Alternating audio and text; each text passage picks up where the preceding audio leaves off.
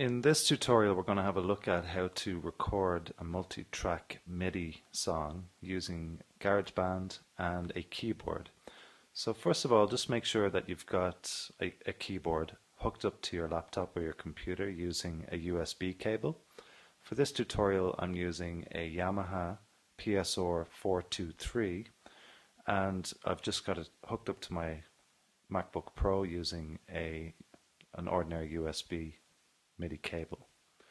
So the first thing we're going to do is open up a new project in GarageBand and I'm going to select keyboard and click on choose give it a name we'll just call this test 1 and open your file and GarageBand will open automatically so just to say one thing there's a three-step process when you're hooking up a keyboard to your laptop or your computer First of all, make sure your keyboard is switched off and GarageBand is closed. Then hook your USB cable into the back of your keyboard and plug it into your USB port on your computer. Then switch on the keyboard and finally open GarageBand. If you do it in this sequence, the laptop will pick up the MIDI interface, but if you do it any other way, it won't actually pick up the MIDI interface, so just be careful of that, okay? So as we can see here, we've got a couple of tracks that we're going to work with. We've got a grand piano sound, electric piano, classic organ, and so on on the left side of the screen. And on the right, we have all of our other sounds that we can use, like drum kits, guitars, um, synth sounds, and so on. So we're going to just lay down a simple four or five track song, and I'm going to begin by recording the piano part and I'm going to make sure my metronome is on so I can keep time. And so I'll click record and I'll just start playing. Okay here we go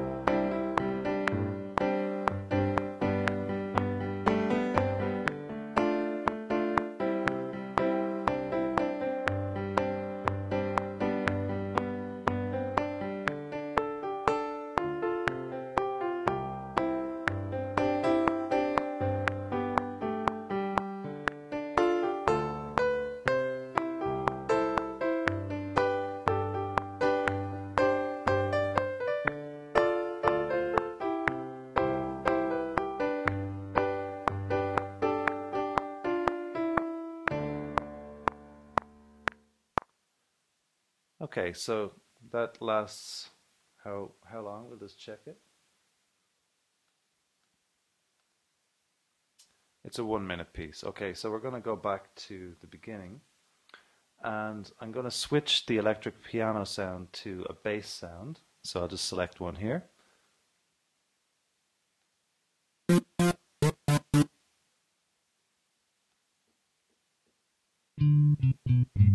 So I'm going to use the attitude bass and I'll just begin recording this as well. So just select the, the bass track, press record, and here we go.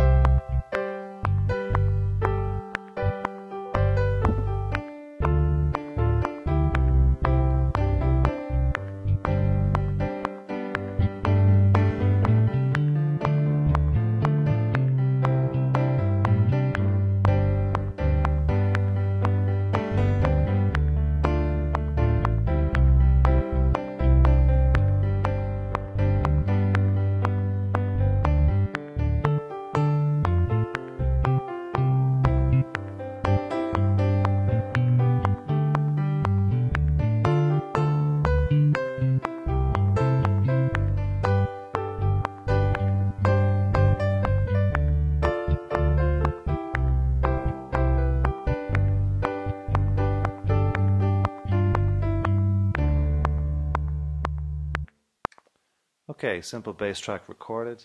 Now we'll add a couple of drum sounds. So I'm going to switch the third track into a drum kit. And we'll try out this one, see what it sounds like. Cavern kit.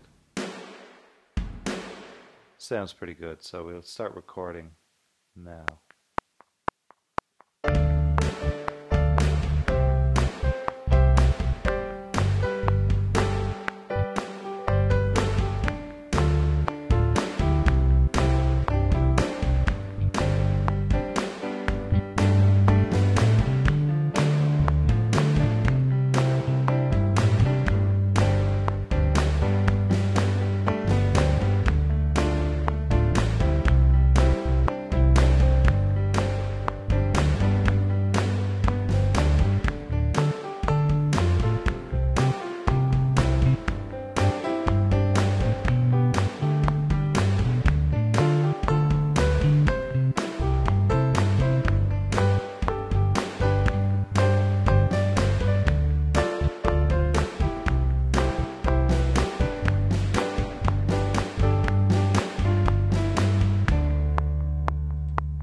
Okay, so that's the first part of the drums recorded. I'm just going to add some hi-hat and snare on another track and we'll stick with this cavern drum kit just for consistency. And I'm just going to use something like this to add a little bit of texture to the drum track.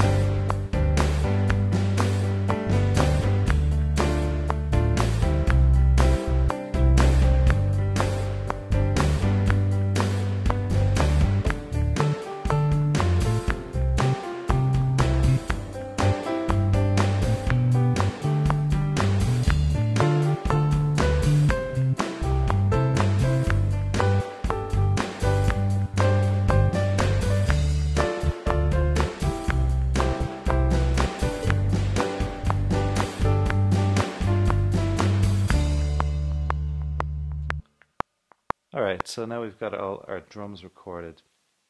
I'm going to add a little bit of strings in the background and finally we'll add a, a solo track.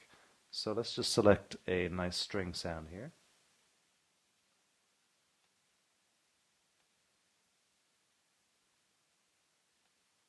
Let's try orchestral strings, see what they sound like. A little harsh, so we'll try reflective.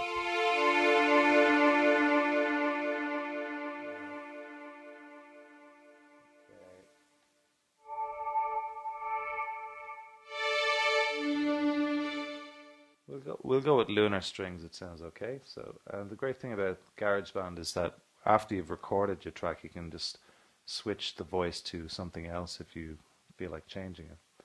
Okay, let's try and record this strings track.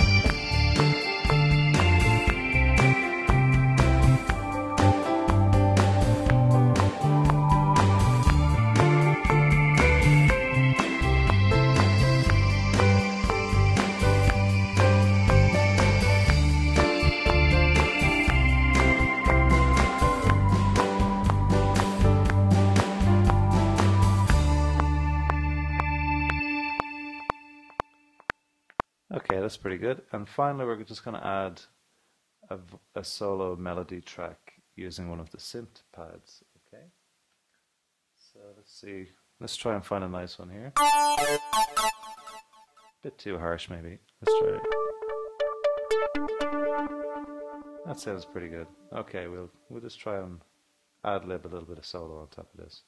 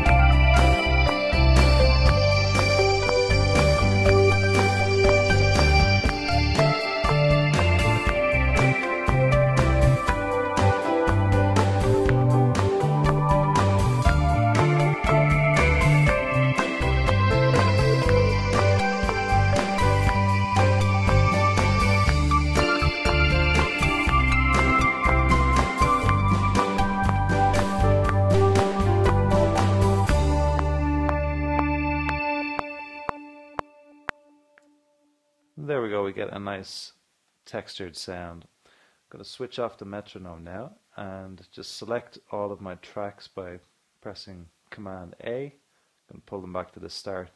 And I'm just going to quantize these because while I was playing, I was playing slightly out of time at, at certain moments. So we can use the quantize feature in GarageBand, which is one of the beauties of using MIDI to record these. And um, if we uh, double click on any of these tracks, you get this window, the piano roll. And at the bottom left, you've got a quantize option, drop down menu, and you can choose whichever speed of note you wish. So, for example, I wasn't really playing anything faster than a 16th note. So if I select 16th, it's going to round all of the notes up to the nearest 16th beat. If I was playing much faster melody or anything, I could increase the speed of the notes, but 116 should do fine for this. Um, so I'll select that and just go back to my track and let's have a listen to the whole thing.